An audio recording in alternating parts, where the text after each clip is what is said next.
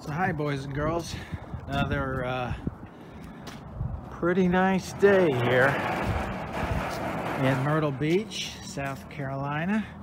Actually, I shouldn't talk up the weather here too much because uh, they're building houses and condos down here like crazy and the traffic's already bad enough. So uh, stay away, it's, it's miserable here. It's terrible, 68 degrees on February 25th. Um, I hear St. James in North Carolina, just up the road, is really nice. So just, just a suggestion. Anyway, I was looking at yesterday's video and it died pretty early. I didn't really get to show you much of the beach, so I thought I'd head back there.